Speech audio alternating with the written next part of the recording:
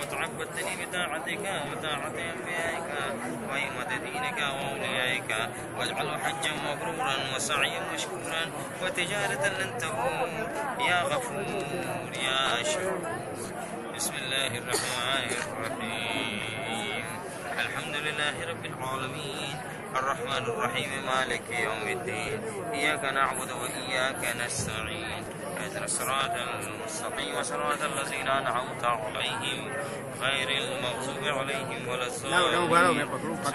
الرحمن الرحيم Claro, ya.